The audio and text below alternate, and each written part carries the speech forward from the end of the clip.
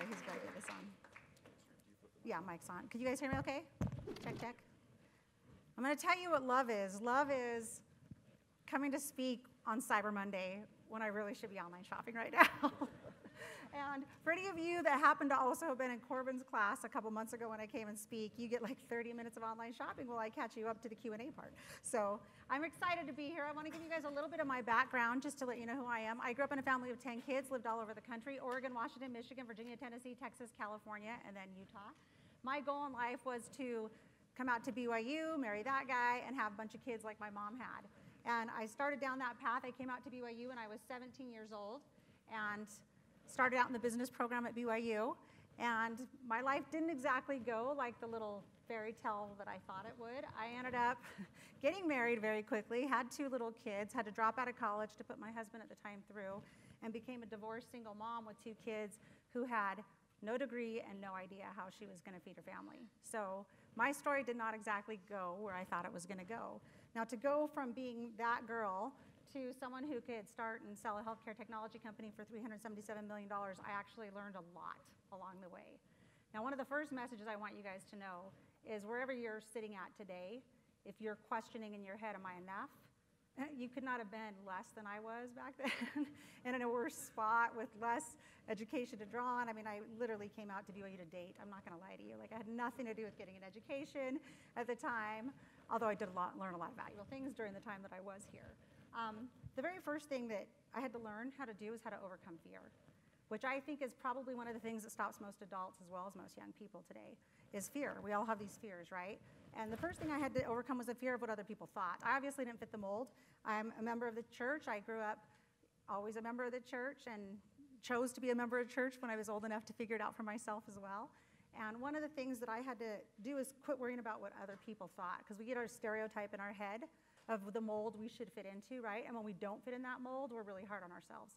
And I learned that I could be this awesome person doing everything right, and people might not like you. People might say bad things about you. People might not think you're very smart or very good or whatever it is. You can't control what other people think. That's the reality.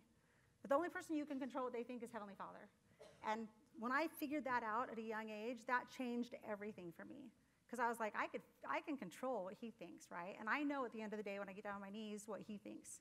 And that was something that helped me to have a lot more confidence in myself, okay? The other thing I learned is that there's two ways we picture ourselves. There's a way we see ourselves, you know, that insecure kind of, I'm not good enough, I'm not pretty enough, whatever it is, right? We all have those like things we knock on ourselves for. And that's kind of the one way we see ourselves. And then there's this picture of this ideal self that we want to be. And what I learned is there's this trick. We've all heard fake it till you make it. Well, it's really real in a lot of ways. Like, I learned that I could actually picture my hero and who I wanted to be, which was Wonder Woman. That's the OG for you that are too young to know the difference. and she's still my hero. Got to meet her. It was very cool. And Chris Pine at the premiere of Wonder Woman, which was also very cool. Love my husband, but it's Chris Pine. Come on, you got to be excited about that.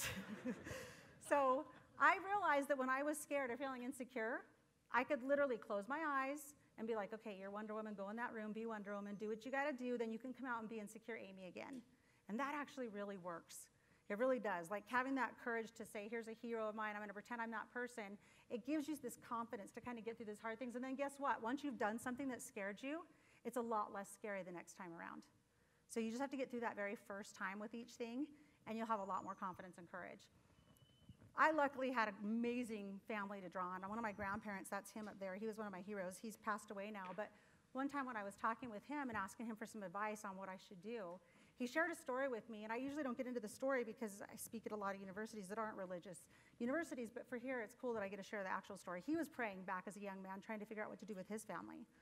And he said he'd been praying for days and days, you know, Holy Father, what should I do? What should I, what direction should I go? And he said, finally, after days of this, he had a voice come in his head that said, Get up, do something, do anything, just make a start. And he said it really kind of kicked him in the behind to go, You know, here I am praying for Heavenly Father to solve my problem, and what have I done on my own to try to solve it? And it really helped me to recognize that you don't have to wait till you have it all figured out. You just have to be moving because, see, God can't drive a parked car. But if you're driving, he can kind of help you with the guide rails, right? And keep you where you need to go. But you got to be moving. And it's okay if you start in one direction and it goes another way. My dad set out in college to be a dentist. My dad went into the FBI. If you met my dad, the thought of him being a dentist would be hilarious because the man fits the FBI mold, if you know what I'm talking about. And so, like, he, but he had started in a direction and then life took him somewhere else. So, Heavenly Father will get you where you need to go if you just start down the path in a good direction. Now, if you asked yourself the question, what would I do if I wasn't afraid? Does that, how many of that, if you ask this question, how many of you by raise of hands, does it change the course you're currently on? If you could do anything and not be afraid of failing, would you be doing something different? Right? So think about that. Ask yourself that question what would I do if I wasn't afraid to fail? Because the answer to that is probably the right question, answer for you guys. I sat down at a young age and made a goal poster. It was about 23. Okay, I sat down and made this poster. Um, at the time, I thought goal posters were kind of hokey. I'd never really made one growing up. I was like, you know, what's a poster going to do? But I was desperate, and I thought, well, what's it going to hurt? right? So I sat down and I made a poster and I put things on that poster like I wanted to win. I was like, I'm going to be an entrepreneur because back then they didn't. By the way, they have a major in entrepreneurship. Like that was what you did if you had like no clue what you were going to do. So you just picked that. It sounded good, but.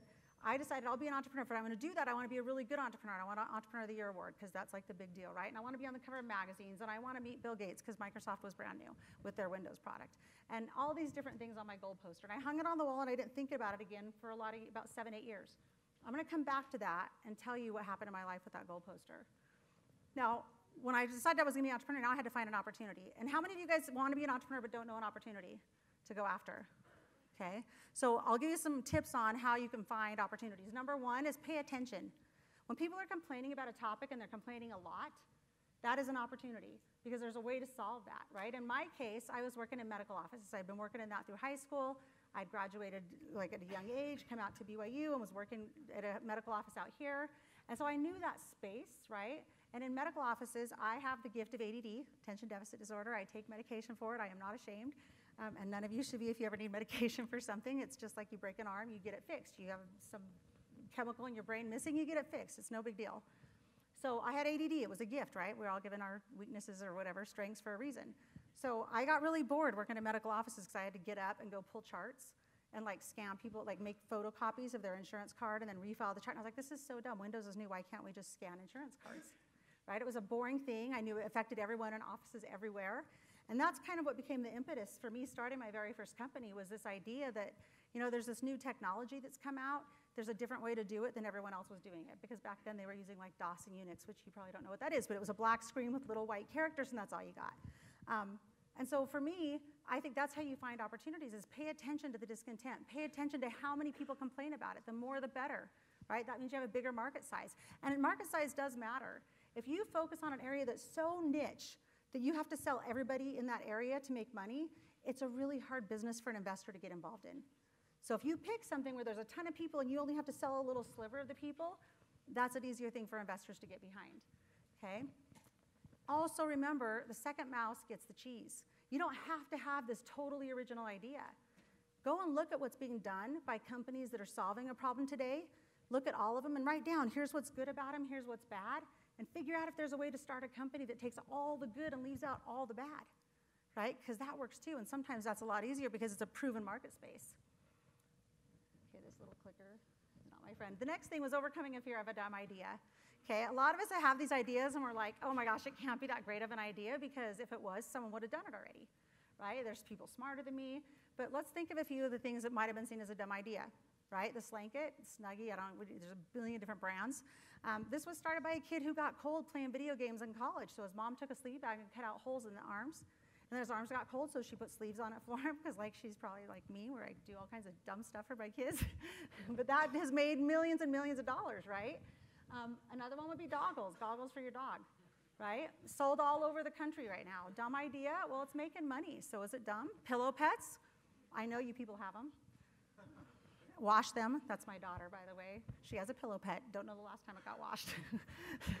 so wash your pillow pets. But they're selling hundreds of millions of dollars a year, so is it a dumb idea if it makes money?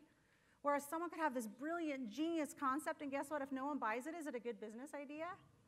right? Probably not. So think about that. One of my favorite scriptures that's been something that's gotten me through so much in life is this one. It's 2 Timothy 1 7. For God hath not given us the spirit of fear, but of power and of love and of a sound mind. Every time I get afraid, I look at that scripture. It's sitting on my mirror at home. Like I keep it everywhere to remind myself that because it is easy to get afraid. It's easy to think we're not enough. And I think that's probably Satan's biggest hope is that we'll believe we're not enough, right? Because then he wins and we lose. So the other thing is do something with what you guys have. If you're sitting there going, I don't have the money to start something, I don't have the resources, look, look at what you do know. For me, I knew healthcare.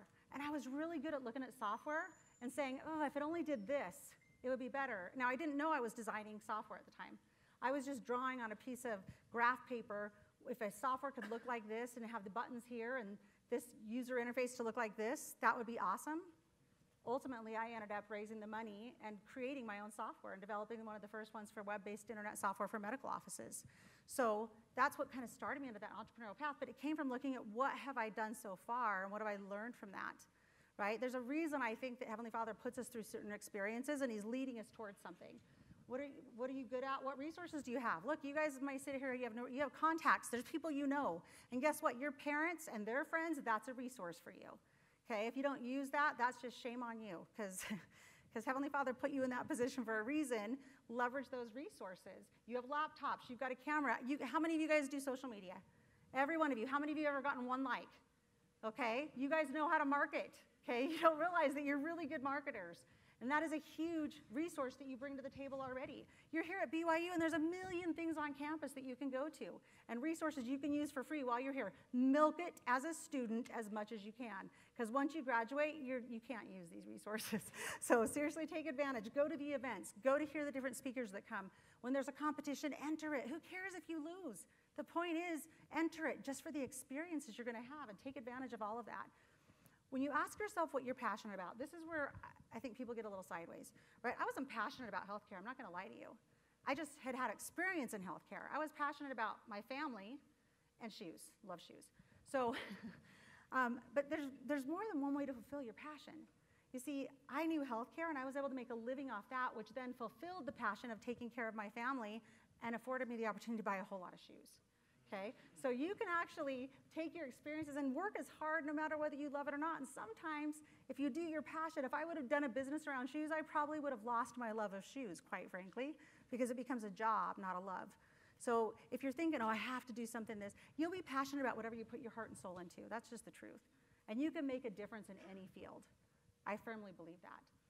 Okay, so I started my first company back in, in 1996 with $23,000 in seed capital that I raised from my dad and my uncle, hardest money I ever raised, and I bootstrapped that company. Now, bootstrapping, I'm sure you guys have been learning about that already, is where you start, basically you don't go and raise a bunch of money, you, you grow as you sell a product.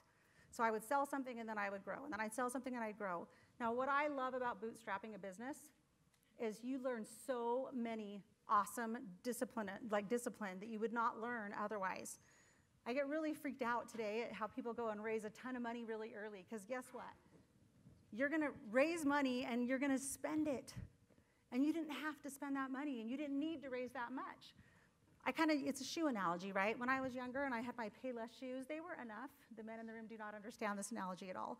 The women are tracking with me. So I, I bought those shoes, my first, you know, Payless shoes, they were cheap shoes. I was fine with those until I got my first pair of Christian Louboutins, right? That's the red bottom for the men that don't understand the shoe. Okay? Once I had that Christian Louboutin, now had to have that shoe, right? That was no longer a want, that was like a need. I had to have it. And then that need grew into like an obsession with lots of nice shoes. So the problem is your needs will expand with the money you raise. If you go and raise a ton of money, you're going to think you need a ton of money and it creates a, like I could literally have named my talk, Everything I Need to Know to Be Successful, I learned in primary, because it's really true. The principles that help you be successful in the gospel are the exact same principles that will make you successful in business. Okay, don't live above your means. Be wise with the, the stewardship of the money that you do have. Don't spend more than you need to. And don't put yourself in a position where you start to think your value is based on the valuation you raised money at right? I don't care. You could raise whatever you wanted at a billion dollar valuation until you sell that company and have a portion of it left. You're not really worth anything as a business, right? It's not about how much you raise, and, and the hype around that I think has gotten kind of crazy out of control in Utah. Like I raised as little as possible because every time you raise, you're going to dilute yourself and your employees and your shareholders. I only raised what was necessary, and I didn't raise until I had to. I wanted to become responsible first because the first time I took a dime from somebody else, I now had a fiduciary obligation and a moral one to return that to my investors. And I took that just as seriously as any kind of church obligation I've ever had. And it made me a lot more responsible with the way I ran my company. I ran it to be profitable. I didn't go buy fancy offices when I didn't have the cash to pay for them, just like I wouldn't go buy a fancy home when I didn't have the cash to pay for that. Right? So think of all those principles that you learn in the gospel and apply them to your business. The other thing is when you decide to start a company, if what you're offering is good, if it is a good business idea, people will pay for it. And that's a lot different when your friends say, "Oh yeah, that's a great idea. Okay, would you would you sign up and pay for it?" And then their answer changes a lot of times, right? So you if your business is good and the concept is good, you'll be able to find paying customers and you won't have to go raise a bunch. Before I ever sold a product to a client, before we developed software, I would literally do a mock-up wireframe, take it to meet with the customer and say, if I can have this developed by this date, would you sign a contract to pay for this? And I would get a commitment before I started development. So think how much money I saved doing it that way, right? I didn't make as many mistakes along the way. The other thing is, if you want to go raise capital, you're not going to gain credibility with chaos. You got to be organized. That means you have your ducks in a row, your documents are right. You know what contracts you've signed, you know what customer contracts you have. Like, make sure that you are super organized. We kept everything really organized in our company. Every contract was scanned in. Like people that are, when they, when they go to sell a company and they ask you for your data room, they call it the data room, and that's where they'll ask you for all the documents with your whole company, every contract you've ever done, every, everything you've ever, financial statement you have. We kept it super, super organized. And when they asked to, when they made an offer to buy our company, we were able to upload a data room to them in less than 24 hours. Normally, that would have taken most company months to pull together. Think what that said about our credibility to the buyer, and it helped us negotiate a much higher exit.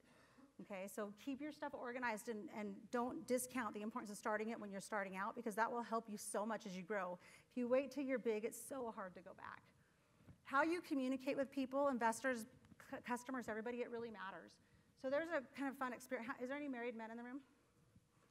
Okay, so when your wife comes up to you and says, hey, can we talk?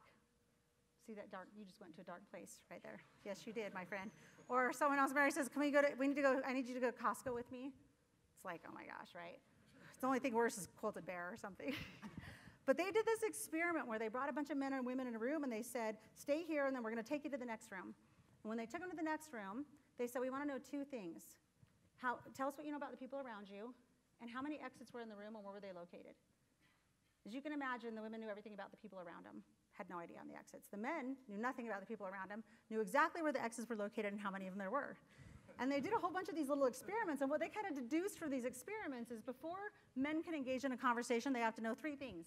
One, is it going to be painful? Two, how long is it going to take? And three, when you're done talking to me, what are you going to want?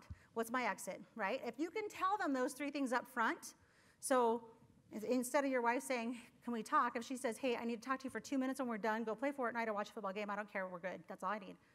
Are you down to talk? Yeah. And the Costco thing, like we're gonna go to Costco, we're gonna pick up this one thing. When we're done, you can go out with your buddies. Totally changes their attitude, by the way, for the women in the room. It's gonna, you're gonna use this, trust me, it works so well. Save relationships, not just in business. But what they come to learn in business is that men and women are the same on this front in business.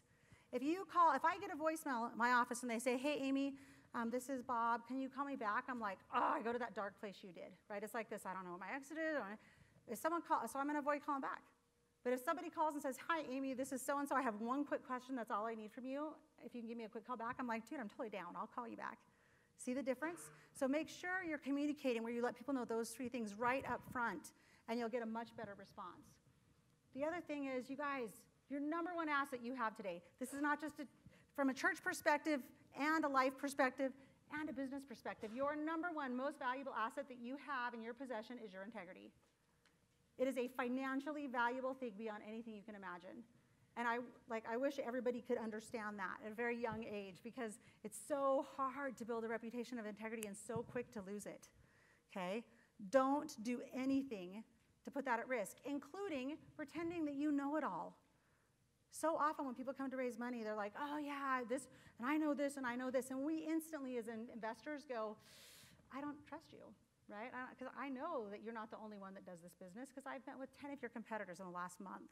And I know it's not impossible for anyone to catch up to you because we've invested in companies that have already surpassed this. You see what I'm saying? So I like to call it my little Bentley analogy.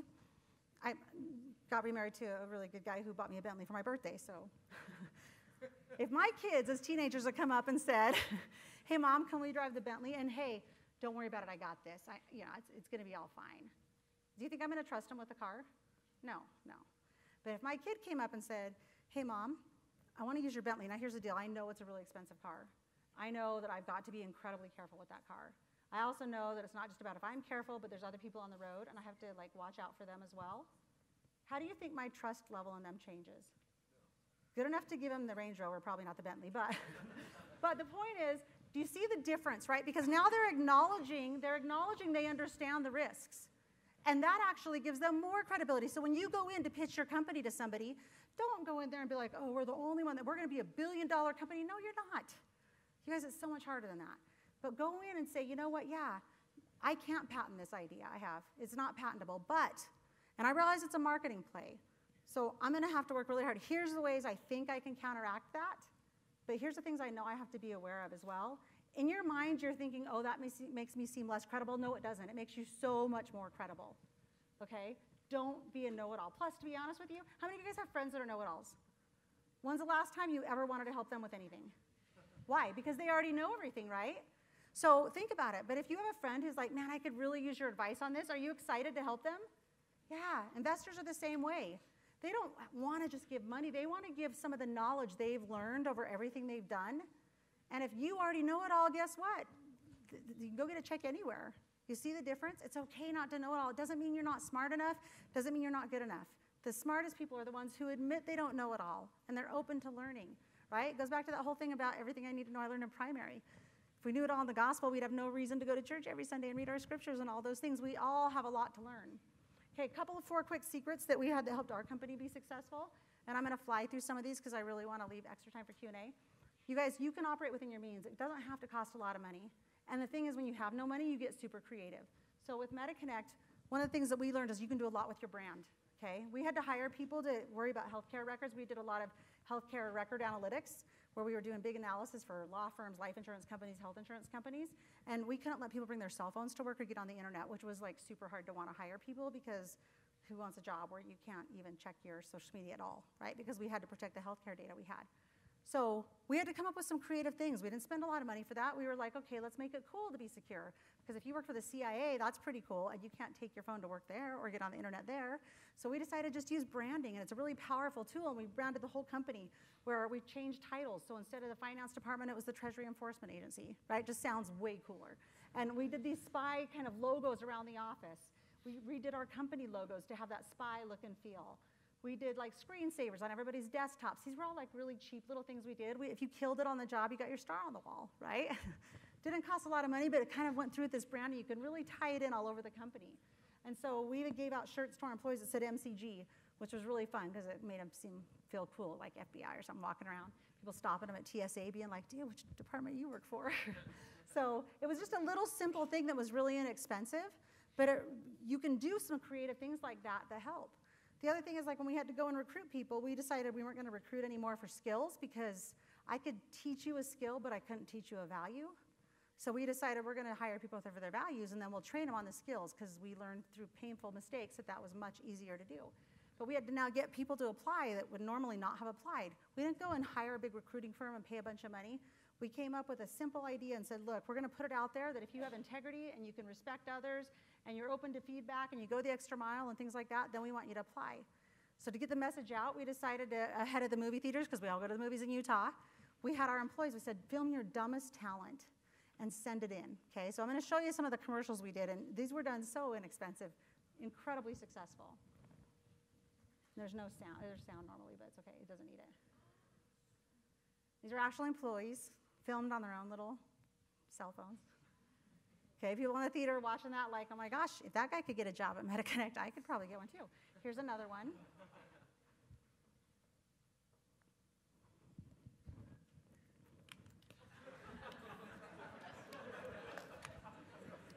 You see, it doesn't have to take a ton of money. These were crazy success. We had a whole bunch of these, right? And we did them with such cheap production value, it was almost laughable. People didn't care. People in the theater were looking at it going, man, if that guy can get a job, so can I. We would go to companies that had good values that we thought they espoused, and in their bathrooms put signs that said, if you're reading this right now, you're clearly a good multitasker, and it just so happens we're in the market to hire multitaskers, so give us a call. So like we found creative ways, you know, when we would repurpose things. We bought one company that had a big RV and we rewrapped it and used it as a mobile hiring center. We'd drive out to the parking lot of companies with good values they espoused and like hand out now hiring cards and people dressed like men in black. Um, we use some fun, crea- you gotta get creative, right? You gotta be able to call attention to what you're doing in creative ways. We've all seen the YouTube videos that go viral and these companies get crazy popular just from that simple, funny video. Um, we would stand out in our cul-de-sac with little signs that said, shame on you for not applying at MediConnect. It was a really great way to hire people in the, in the business park we were in. Um, we also learned that the best way to find the people with values is to go where they were. So we had little cards made up for all employees that said, we're hiring when you call, tell them so-and-so says you're awesome. And we told employees, if you see someone at the drive-through at Wendy's and they're super friendly and happy and nice to you, give them a now hiring card. Because if they can be happy in that job, they can be happy in any job. So we're going to hire them, right? And by the way, Jimmy John's people are awesome. Love Jimmy John's employees. Best customer service ever, right? Same with Nordstrom's. I'm just saying, we learned who had really good quality people there. So that also should tell you, though, the way that we were hiring people, again, we could teach them healthcare and we could teach them technology, but we couldn't teach them values. And they never knew we were watching them. They had no idea. You never know, as you're living your life, who's watching you and paying attention to the values that you're showing that you have. So always be mindful of that. Okay, our cheapest marketing ideas came from when my daughter here was in, and her and Bridger, who's your TA, were in high school together at Alta High. $4.99 hot and ready Little Caesars pizza. Those kids in high school would give me all my marketing ideas. I never had to hire a firm ever because I got free marketing ideas. Well, $4.99. Those kids would come and they were brilliant marketers. You guys are actually kind of like old now, so you have to go to the younger high school, junior high, because they totally know what's cool and they will help you come up with free branding and marketing ideas. Okay, our number one rule, we wrote it on my office wall. It said, do what's right. First, it just started with that top line. And we had that right on my office wall, so every meeting we had, we were looking at that. And then we went in and added, let the consequence follow. And the reason why is we started to find that as you're doing things in business, it is really easy to start to play mind games with yourself and, and kind of skew what's right and wrong. Let me give you an example. You're bidding on a deal, and you know your competitor's gonna overstate their RFP. So you're like, oh, I have to overstate mine too, or I won't win the deal. And I can't let them win the deal because we know they're dishonest people. So we're gonna like overstate ours and, and kind of what do they call it, puffing or whatever? Like we're gonna puff who we are and make it sound better so we can compete. No, that you can't listen. It's not worth it. It's never worth it because it will forever affect your reputation. So we decided we're gonna decide up front, we're gonna always do the right thing, knowing that at times doing the right thing means you might not win that deal. And you have to be okay with that. That's why we put on let the consequence follow. It was our way of saying, you know what, we're going to do the right thing. And yeah, at times it's going to kind of suck because we're going to lose the deal. and that's not fun. But we would rather have our integrity because success is going to come and go, but our integrity, it's forever. And that helped take the decision off the table in so many instances. And it also helped us call each other out when we were starting to like, because look, we all do it. We justify, you know, the right result, wrong way to get there because you think that's the only way there. Just don't let yourself get sucked into that. It's never worth it, ever. And when you do make a mistake, because you're going to make a million of them, just own it. Own it, fix it, learn from it, and then put safeguards in place so you don't make the same mistake again. Our rule at our company is you can make any mistake once, and we'd all have your back. You make the same one twice, that's it. Except for an integrity. You couldn't even make one of those once. Any area but integrity you can. Because guess what? That's how we learn. You guys are going to make a million mistakes. It is not a failure to make mistakes, right? If you make a mistake and you learn from it, you didn't fail. It made you smarter, and you're going to be wiser. Nobody in my position, success wise, got here without making a gazillion mistakes. Okay? Times when it's just so embarrassing you fall flat on your face and you think that's it, that's the end. And it's mortifying, but guess what? It's not a failure. And it's not the end. Not if you learn from it and you get smarter from it. So don't be scared to try things because that's how you're going to learn. If you look back at your life, you're not going to remember the things that you did. You're going to remember the hard lessons you learned by making mistakes. Communication's everything one of the biggest lessons for me, and was probably one of the most humbling as a leader, is that if I didn't communicate for myself what my values were, someone was going to do it for me. And the chances are they weren't going to give the right, the right values. And that was hard because we grew from like 70 people up to 2,000 people worldwide. And it was really hard because I felt like, oh, I'd hear these things in the company where people say, oh, she thinks this or that. And I'm like, that's not what I think, right? I mean, I believe in this, this, and this, and they should know that. So I actually started writing a daily blog. It was the only way I could communicate with all these people in all these offices. And I started that blog in 2010. And when I started the blog, I told my employees, I'm going to write this five days a week. I'm never going to miss a day. And I knew I couldn't because if I did, then they wouldn't trust me anymore. And it didn't, wasn't a professional blog that said, I'm your boss and this is why I'm so smart and blah, blah. No, it was like, hey, I really screwed up today. I made a mistake. Here's what I learned from it. And I'm really sorry, right? Or, gosh, this is something I've been really worried about, or I'm struggling with this issue, or, you know, it's, it's really hard to put your pants on out of the dryer. Really knocks your self esteem after Thanksgiving. so it was like really real, right? It was so real and authentic. And what I learned was the more vulnerable I was and the more open I was, the more people rallied to want to help me because guess what? As soon as they knew I wasn't a know it all, they wanted to help me be successful. And that was the number one key to my achieving the success was the fact that I was just real. I remember sitting in a Relief Society class once, and you know, I was at the time I was like still this divorced single mom, and I was like kind of quiet in the back of the room because I thought, well, I, they don't fit in. They're talking about sewing, and I'm running a tech company, and I just don't relate, right? And this lady teaching was like, oh, my husband and I were on a cruise ship, and I have a gambling issue, so I had to like have my husband keep me off the casino floor, and I was like, dude, I love you right now. Like it was like all of a sudden I'm like, she's like real, right? And it made me like, oh, it made me realize, oh, we got to be real with each other because none of us are perfect and we're all struggling. And if we're just real and let people know what our vulnerabilities are, they will help us. They will. They'll get behind you and help you. So I started that blog and have not, after I sold the company in 2012, they're like, oh, well, you keep writing your blog. And I was like, you don't need to read it anymore. I'm not your boss. And they were like, we love learning from you. So I have, I've continued to write that blog every day, five days a week, haven't missed a day since 2010. So it'll be 10 years this August, you guys. And it's my way of putting it out there what I learned. And the employees could go in and comment back on it. So there was a bi directional conversation. And we had idea boards where anyone could post an idea and everyone voted on it. And everybody felt part of the company and took ownership of everything we did. Those made a difference. And as we did, those t shirts I'd given for Christmas, all of a sudden they were like, hey, we want all these other products too. Can you buy us all this other stuff? I was like, no, because I'm super cheap. And they were like, well, we'll pay for it. And I was like, you guys want to pay for it? And they're like, yeah, we're so excited about being, like, they felt the success of the business with me, right? Because they were such a part of it, and it was so much inclusive of that. The more you allow other people to share in the success, the more bought in they are. So, can you imagine how cheap it was from a marketing perspective when they were paying for their own MCG stuff and wearing it all over town? That's pretty incredible culture to build. The other thing is we learned with customers, make it personal, you guys. We would have everyone log into our site and they'd see this little photo stock person and we realized that's just not personal. And so we would put the account managers' faces in there. And all of a sudden they felt like a connection to who they were dealing with, right? Because so much is done online. And then I was like, man, I love going to Google because every day it's a little bit different and I never know what I'm going to see. So we thought, we got to mix it up. Let's make it fun. So our account managers would put on costumes. And when you logged in, you'd see your account manager wearing a different costume that day. People loved it. They thought it was so much fun, right? Started to make it engaging with the customer.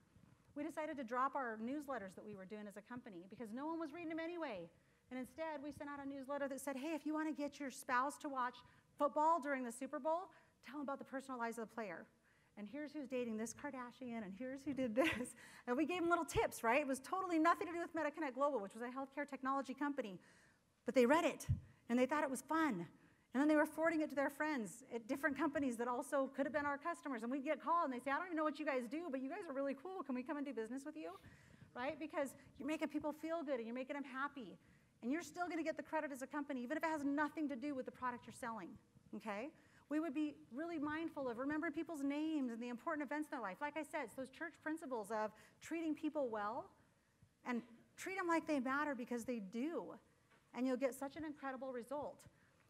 We would even give out DNA charts to people as gifts for holidays to customers. They loved that stuff, right? At the end of the day, you want to be a Tigger, not an Eeyore, because nobody wants to hang out with a Tigger or with an Eeyore. But everybody wants to hang out with Tigger because he's just like fun, fun, fun, fun, fun, right? And people do business with people they like. I went to go buy a bike with my husband last year because we were going on this bike ride, which I hadn't bought a bike since I was 12, and it had a banana seat with flowers and tassels and a bell. And so I go into the bike shop, right? I know nothing. I'm terrified to go on this bike ride for good reason right? Because if you need numbing cream for anything, you shouldn't be doing it. That's my personal opinion. so we're at these two different stores, right? And they're same exact bike, exact same bike, more expensive at the second store. But guess what? That salesperson let me know you need numbing cream and what shorts to go buy and blah, blah, blah. And I was like, they were so nice. Even though they didn't sell those products, they just took time with me. And I told my husband, we're going to buy it from this person. And he's like, no, it's like 300 bucks cheaper over here. I was like, no, I like that person. And I want to do business with them okay? People do business with people they like. Remember that. Those are the principles that helped us grow that company to be a huge success and sell for 377 million, which was pretty awesome, frankly. Now, I want to go back to the fear. You guys have got to get over your fear if you're ever going to get to fabulous. Okay, you got to remember from a spiritual perspective, God doesn't want you to be afraid, and you can't be afraid to fail. And that when things go wrong, because they're going to go wrong, and this is one of my biggest fears for people in your age group today the number of suicides. Just over the holiday alone, I was aware of three different suicides. That, that's unbelievable to me, right? Like, I think back to that 17 year old girl who got married and dropped out of college and had two kids and had no idea how she was going to put bread on the table, which, by the way, ladies, part of being a good mom is being able to put bread on the table when you need to. So don't ever feel like you're wrong to pursue your education and to finish your education because it's not. It's the best thing. And for the men in the room, you better encourage these girls to finish. And you encourage them to be able to be self reliant. And if they get the blessing of being able to stay home full time, awesome. But they need to be able to take care of their families because you don't know what's going to happen. None of us do, right? So education does matter. So proud my daughter stuck through it, even though she probably wanted to stop a million times. She's graduating in April. Hmm? Yeah, in entrepreneurship, by the way. it is so important. But if, as a girl at that age, when I was like getting out of this abusive situation and I had these kids and I was terrified and I felt like I was such a loser and I didn't even know how to take out my own trash because I'd always had a dad or a husband to do it and I cried all the way to the curb the first time I had to take it out. That is a true story. If I, at that moment, would have allowed myself to succumb to the thought of this is the end, think of how different things would have been. Okay? She wouldn't have had a mom.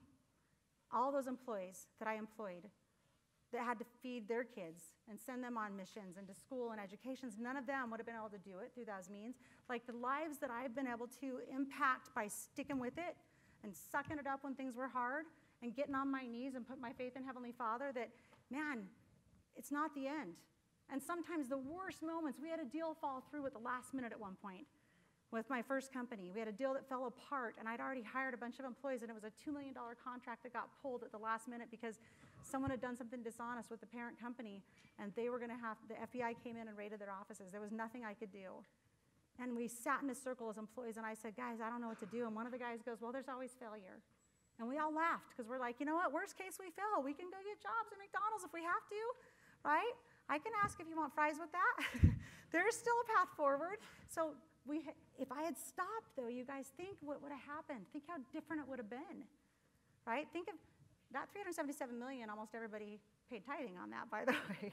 That's a temple or something. I don't know how much they cost, but I'm pretty sure it helped the church. So the point is, don't give up.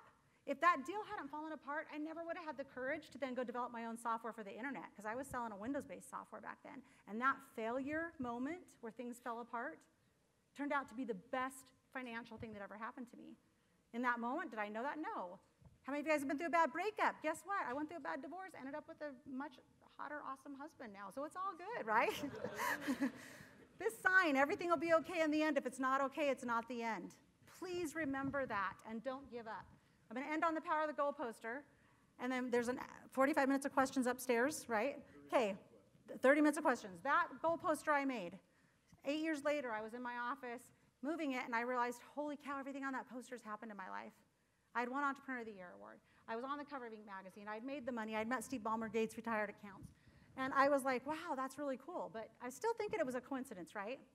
And then my dad came to me and said, Hey, your mom and I have been called to go serve in the temple presidency in Ghana, Africa. I think you should come out and get married in Africa. And I was like, That'd be awesome, but I don't even have a boyfriend and I have no time to date two kids, running a company, you know.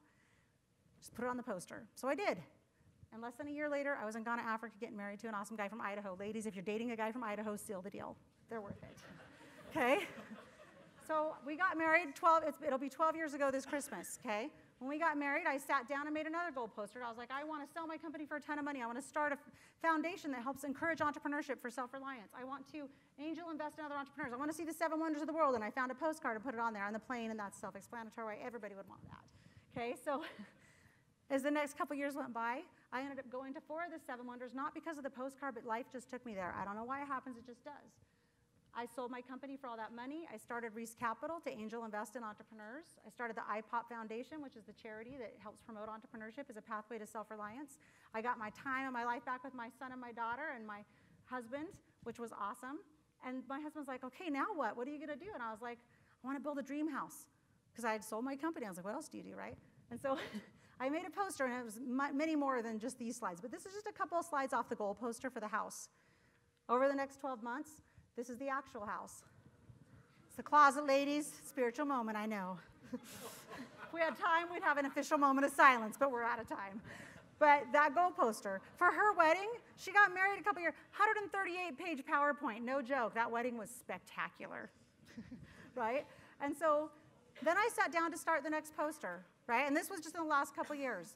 I sat down, I was like, my husband was like, what are you gonna put on there? I'm like, I don't know, because it's kind of intimidating now. I Put down, I wanna have a whole bunch of grandbabies. They each get a million dollars on their eighth child. There's no negotiating down from that. I want 16 grandkids. Okay? I was like, I want to go to Europe and go on vacation. I want to see my son and daughter get married in the temple because that's important in my faith. I wanted to finish my education because it drove me nuts that I didn't get it finished, but I was not going to go back to school and sit in the classroom. So I was like, I don't want to put it on the poster. My husband was like, put it on, you don't know. And I thought, well, I've written this blog now for all these years. I should publish a book. Over the next, it was less than four months later, I got a call telling me I was getting an honorary PhD. I was bawling when they called me. They probably thought I was the biggest weirdo. But to me, they didn't know about my poster. They had no idea what that meant to me. Feel free to call me doctor, by the way. Europe, the next year, we went to all those places in Europe and got to go as a family to visit those places. And both my son and my daughter got married in the temple in the last couple years. And I had two years ago my first little grandbaby boy, adorbs, and this year, I had a little grandbaby girl a couple months ago. So, and then Forbes called and asked me if they could publish my book. And so here is the book. It just came out earlier this year. It's called What Awesome Looks Like. It's done like a mirror because it reflects you. You're what awesome looks like, how to excel in business and life. It's like an ADD guide to success. There's no chapter more than three pages. It's all very quick. the whole point is, as a young girl, I would have said, it's edited, people, it's BYU. So I would have said, don't limit the picture in your head because my crayon drawing back as a kid would have been that. At your age, I would have been, and you are kids to me because I could be your brother, which is terrifying. So that up there is what I would have seen. But what God intends your life to be is a masterpiece. So thank you for letting me come and talk to you guys today. This is my contact data. If I can ever help any of you, I am happy to do that. My blogs are at amyreesanderson.com. There's 10 years. You can search every topic under the world. The search thing is not on your cell phone. It will be soon. It's on their computer. But anyway, the point is, you guys are amazing, and you're already so far ahead of the game from where I was. We have about two minutes for class. Oh no, we don't have. We're going to go upstairs. I hope you guys can come upstairs and join me.